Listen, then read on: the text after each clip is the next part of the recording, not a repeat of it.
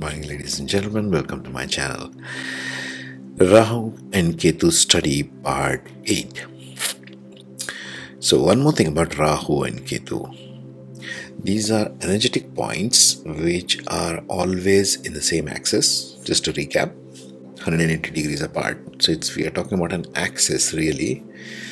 And think of it, uh, Rahu Ketu axis, always as if you hold a torchlight if you're in a dark room, okay? And if you're holding a torchlight and directly pointing in front of you into a dark space, trying to find out what is where, right? In a dark room. It's pitch dark.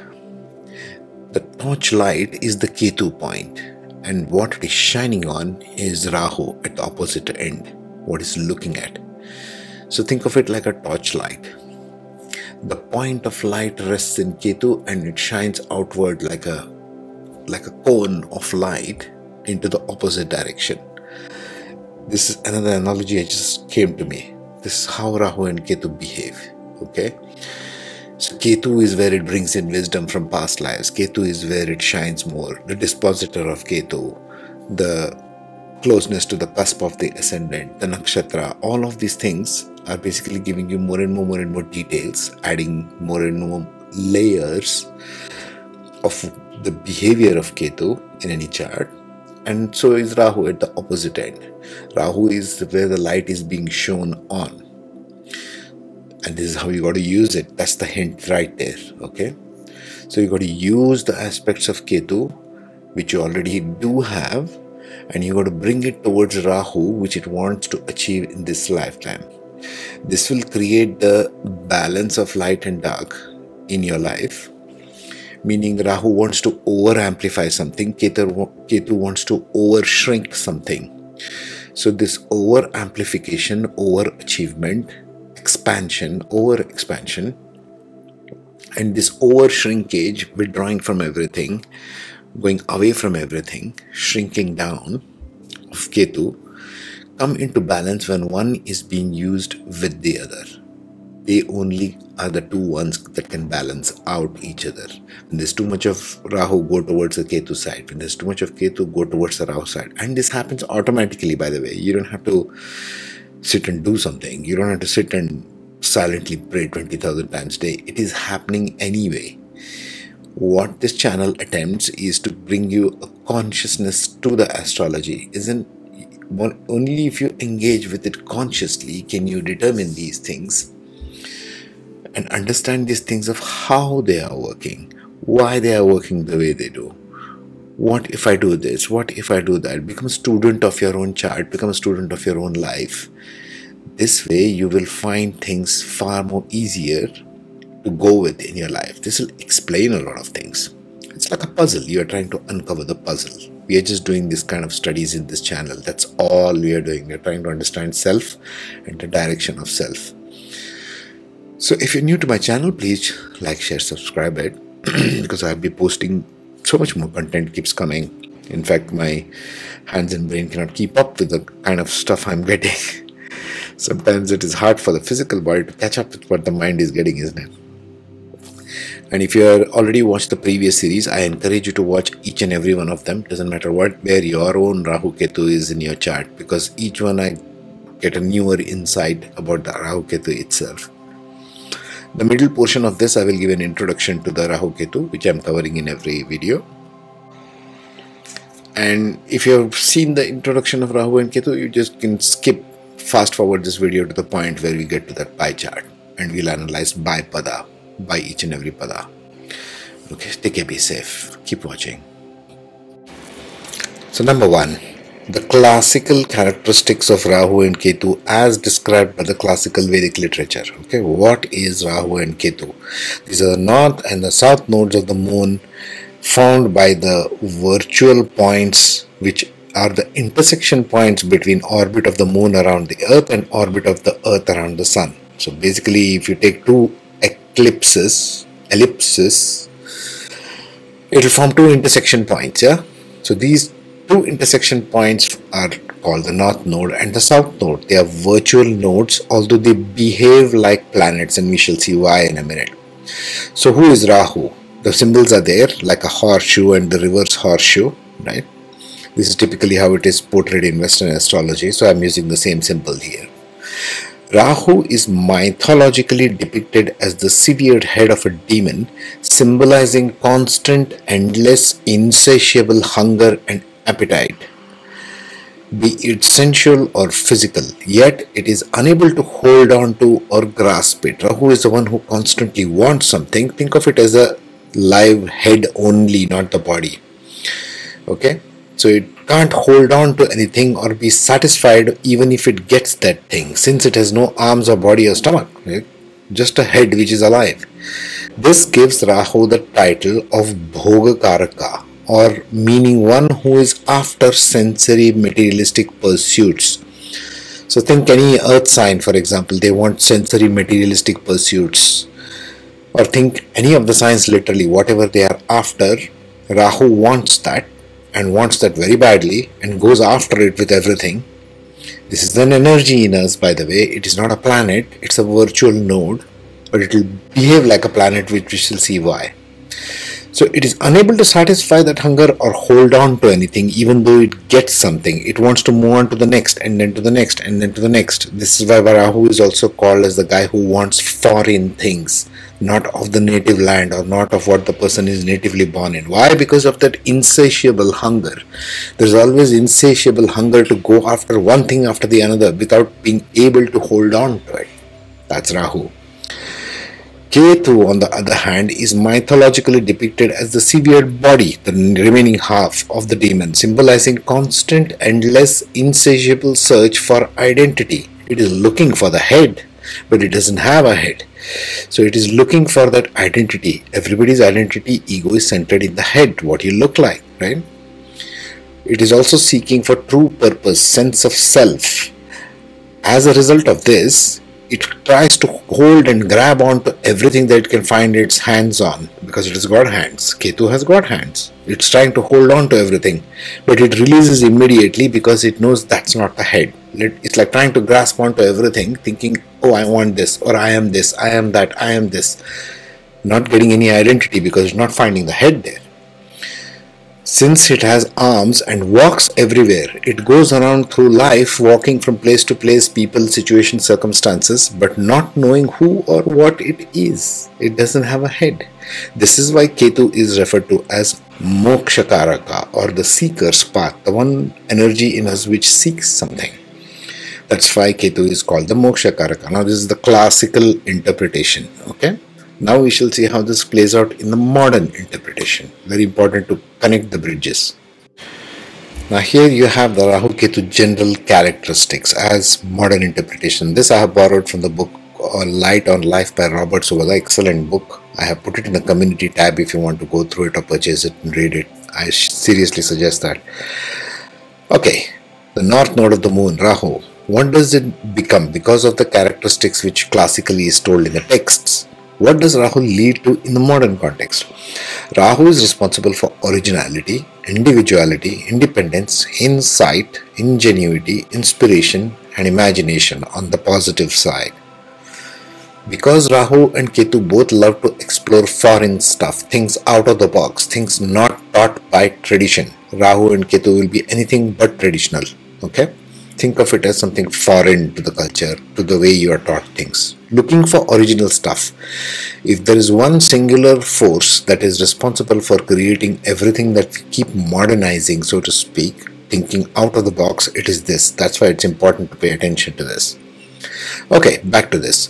So Rahu on the downside becomes leads to confusion, escapism, neurosis, psychosis, deception, addiction, vagueness, illusion, and del- delusion. This is the downside.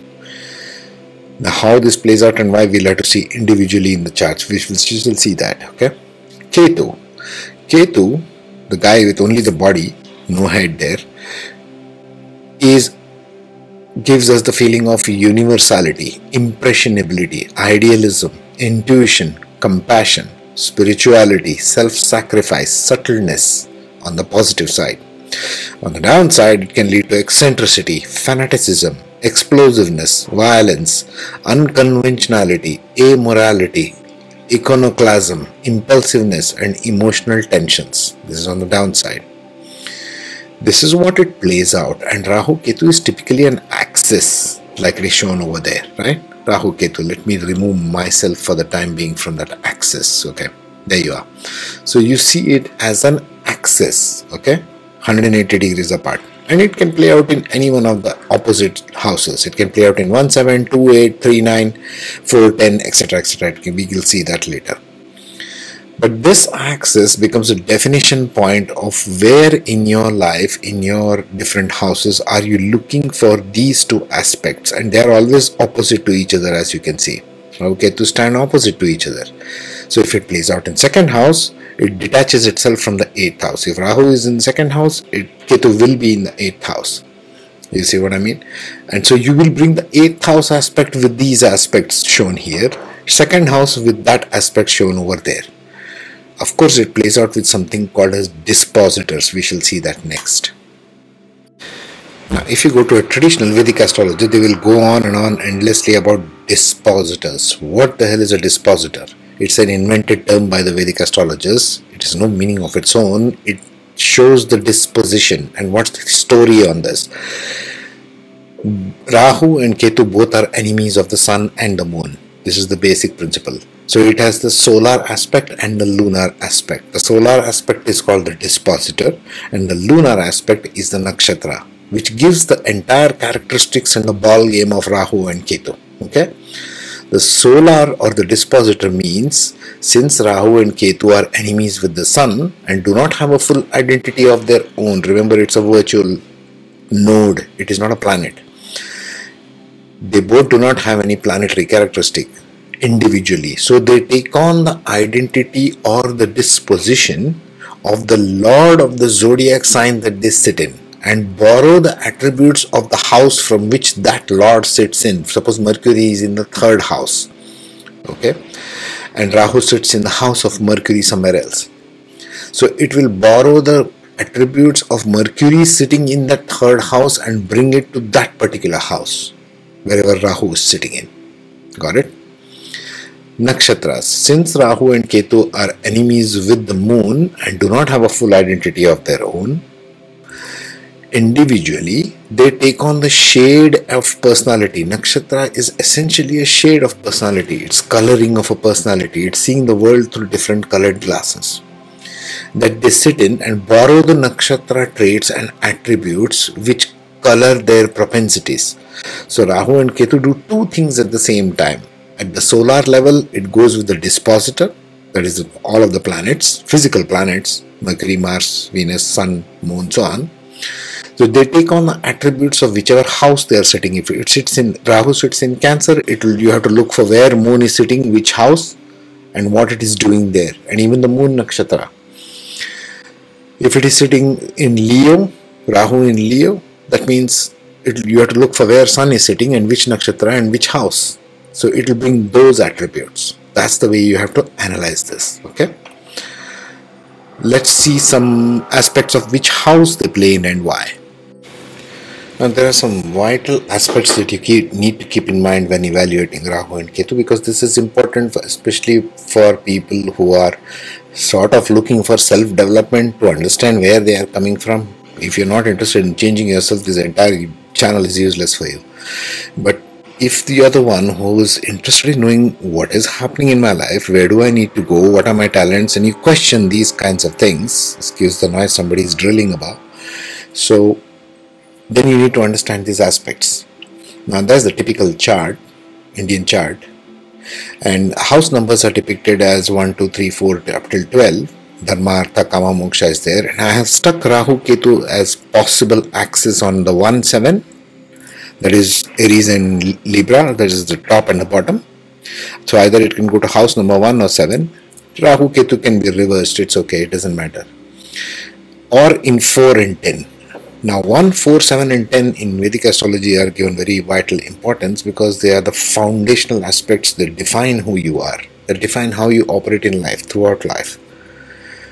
So these become crucial. Why? The 1, 7 axis effects, if Rahu and Ketu fall on there, has a direct effect on your self and other concept. 1 and 7 is self and other. How you re- relate to yourself and how you relate look at the world around you as others, including the spouse, because seventh house is the house of the spouse, but also others. So, how you develop through life and how you develop a relationship with others. So, it defines who you are in a very broad sense. 1 7 axis of Rahu Ketu. The 4 10, on the other hand, fourth house being the house of the mother, tenth being father, fourth being home, tenth being career. You see, this has a you know all kinds of implications which define who you are. The 410 axis has effects on the heart versus mind. Mind wants is the one who goes out there in the world and being used in the career, right? You dissipate your energy as the mind in the external world heart is your home, your home center where you feel comfortable. Home is where the heart is, that kind of a thing. So, heart and home is affected by this Rahu Ketu axis. Again, Rahu and Ketu might be reversed. Rahu might be in the fourth, Ketu might be in the tenth, or vice versa. Same way with 1 and 7. But these are the vital relating aspects of Rahu and Ketu. Now, what about the rest of the houses? Now, rest of the houses are called Trikona or Kona in Sanskrit, right? These are the things that come and go in your life. Let it be second house, third house, uh, fifth house, sixth, eighth, ninth, eleventh, and twelfth. These are the things that come and go in our life through life, through your entire life. These are things that are added into, subtracted from us. But this is not us. 1, 4, 7, and 10 is us. Everything else is secondary, which revolves around you as life comes and goes. All other axes depict what attachments and detachments we have towards different areas of our life. That's all it is. They are less significant in terms of Rahu and Ketu when compared to 1, 7, 4, and 10 axis of Rahu and Ketu. Please remember this. When you're evaluating, you just have more propensity towards one part of life and less towards others. Rahu is attachment, Ketu is detachment. Rahu is expansion, Ketu is reduction. And they stand opposite to each other always. Right? Now let's take the cases one by one. So now we're talking about Rahu in Uttarashada Nakshatra, which falls most of it, as you can see on the pie chart mark there, is in Capricorn, and only the first pada falls within Sagittarius. Okay, and it's even there on the table. The Dharma pada falls in Sagittarius in natal, going into Sagittarius in Navamsha in Uttarashada and in the second one Artha going in from Capricorn to Capricorn. So this has got two Vargottama points which are very important. Meaning Vargottama meaning whatever is there the position in birth chart is the same in the Navamsha. Okay. So the the themes become very dominant of Sagittarius in the first pada, of Capricorn in the second pada for the Uttarashada nakshatra. First order of business what is the dispositor and what sign is it sitting on? Rahu in this case is still in Capricorn. We are still in the Cancer Capricorn axis as in the previous one in part 7. So, first of all, Rahu and Ketu do very well in movable signs. Capricorn is a movable sign, and so is Cancer a movable sign. Because Rahu, Ketu need room to move and grow. They are moving energies. They can't be made to sit still in any place they come in a chart. So they do very well when it comes to moving energies.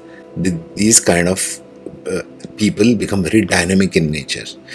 They want to get stuff done and they move to get stuff done. It provides them the energy. Rahu provides them this energy to do so.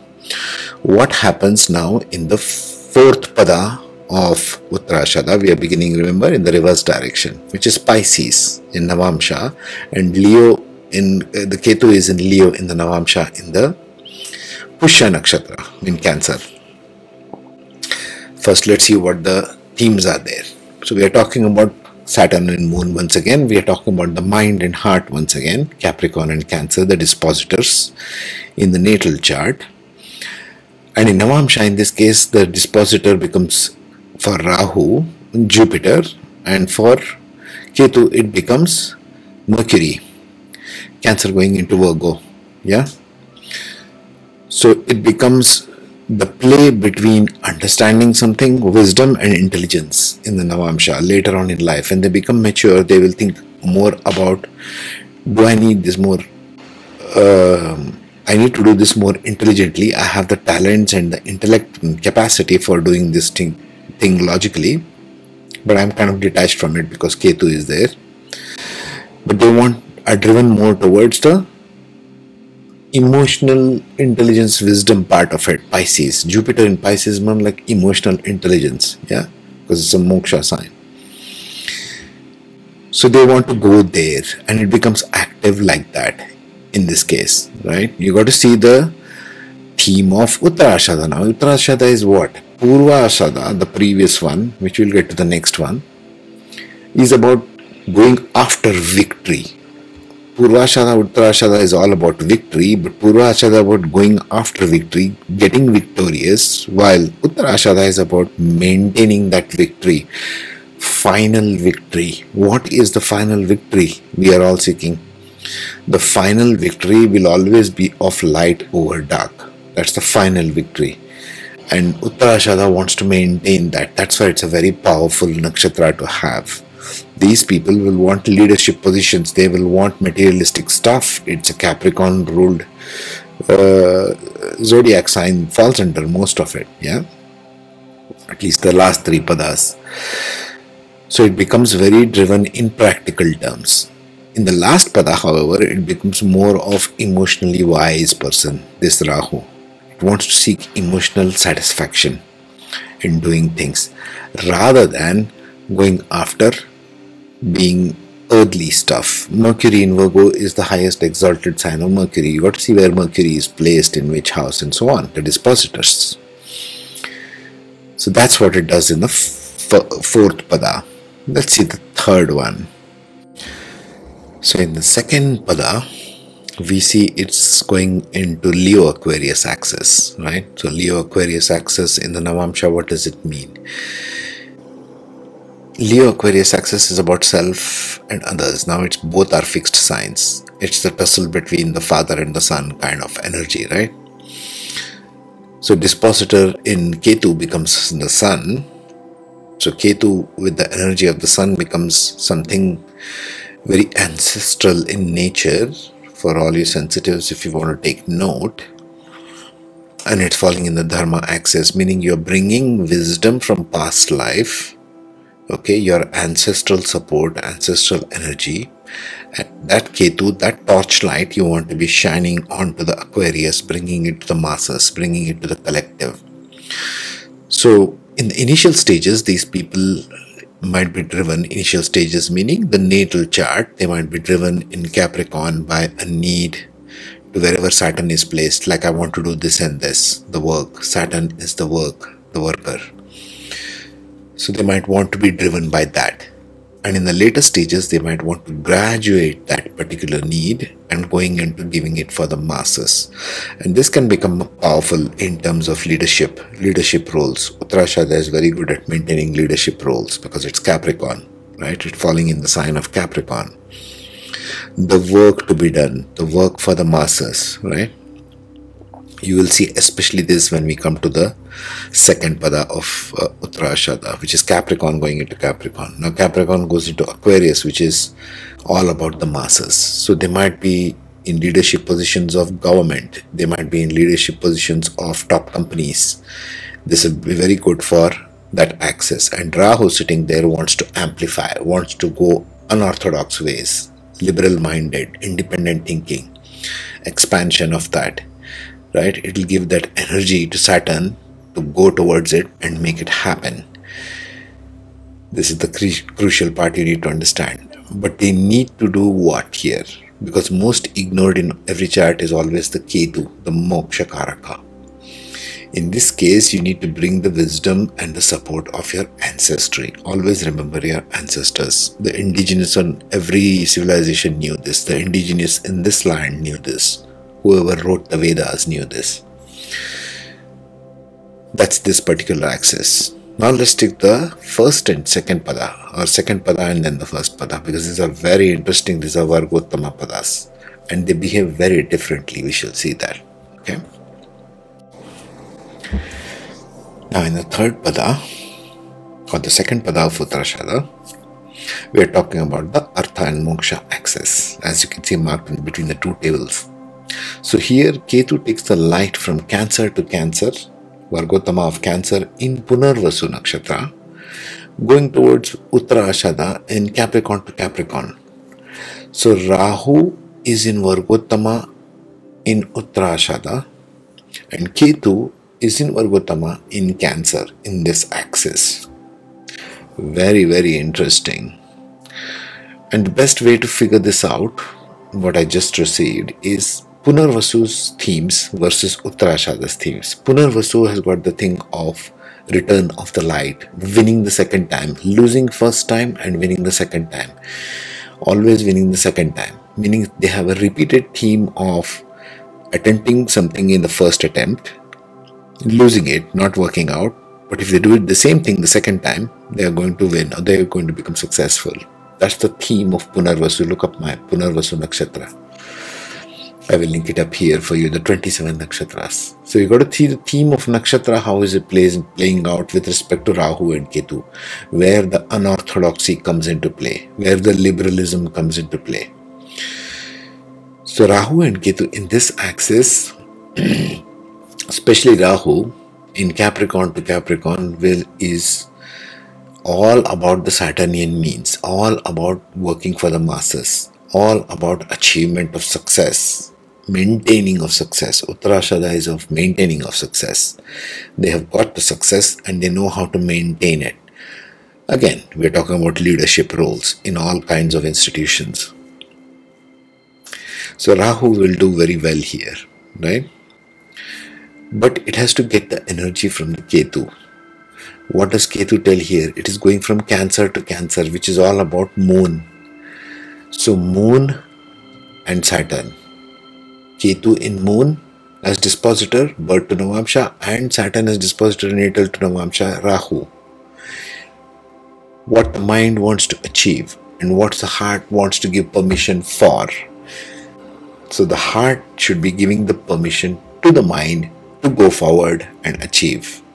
So see where the Saturn and Moon are placed in the natal and Navamsha if this is what you have because it will be very critical and very important to examine what areas of life these people will shine in because they will shine in this. This is a very good nakshatra. And this axis, Punarvasu wanting is going to lose the first time and win the second time, and Uttarashada wanting to maintain the victory in that area. You see what I'm saying? So one is failure first, success the second time. The other one is about maintaining success, whatever you have got. So those are the themes that will play out in the Rahu Ketu axis. Now we'll go to the last one. So now we are seeing the first pada axis. So the first pada of Uttarashada goes into the third pada of Punarvasu. Again, this is exalted but in a very different way. Compare the two tables of Uttarashada and Punarvasu there. The themes of Punarvasu and Uttarashada same, right? One is losing the first time, winning the second time. Uttarashada wanting wanting to maintain that victory, which came at a cost, right? But who are the people who know the value of victory? The ones who have struggled, had a failure a number of times, and then they have one victory. They know the value of victory, not someone who inherited all the wealth.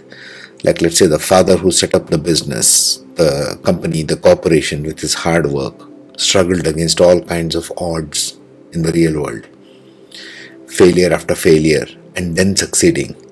Punarvasu. And now he knows how to maintain that victory because he has earned it.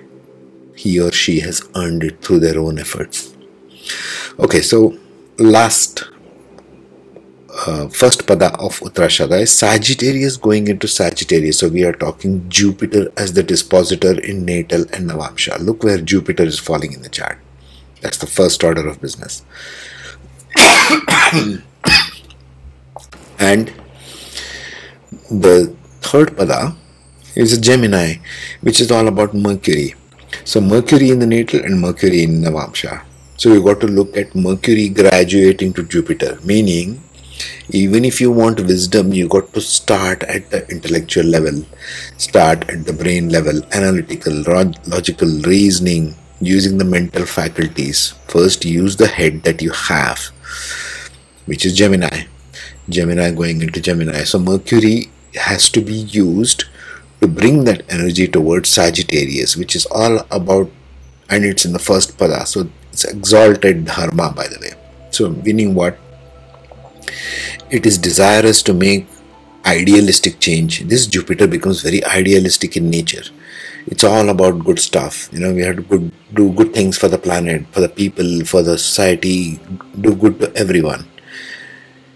But only thinking about that isn't going to help. You need some grounded reality. You need to know how to bring it, intellectual knowledge. So, using the intellect which they have, because it's Mercury very exalted there, you need to bring that knowledge wherever Mercury is sitting in, whichever house it is sitting in, in birth and in Navamsha, and then get that into the Jupiter, wherever Jupiter is sitting in. So it's like Mercury giving the back end fuel to Jupiter. It's fueling Jupiter, but it's needed. So Vedic astrology is like this it's never about one thing to the exclusion of others, it's how you use what you have to bring in what you need to go the soul is just playing out in this duality in these two kind of planes. Yes? Okay so next we will be talking more about purva ashada. Rahu in purva ashada which will fall into punarvasu. Probably going into ardra so we'll see that right? Which is about beginning of the victory stages. Good so i'll leave you with this much to think about you can have a look at the other ones of Rahu Ketu as well. If you want to understand nakshatras, there is 27 nakshatra playlist. And keep watching for I'll bring bringing more stuff later on. Take care, be safe.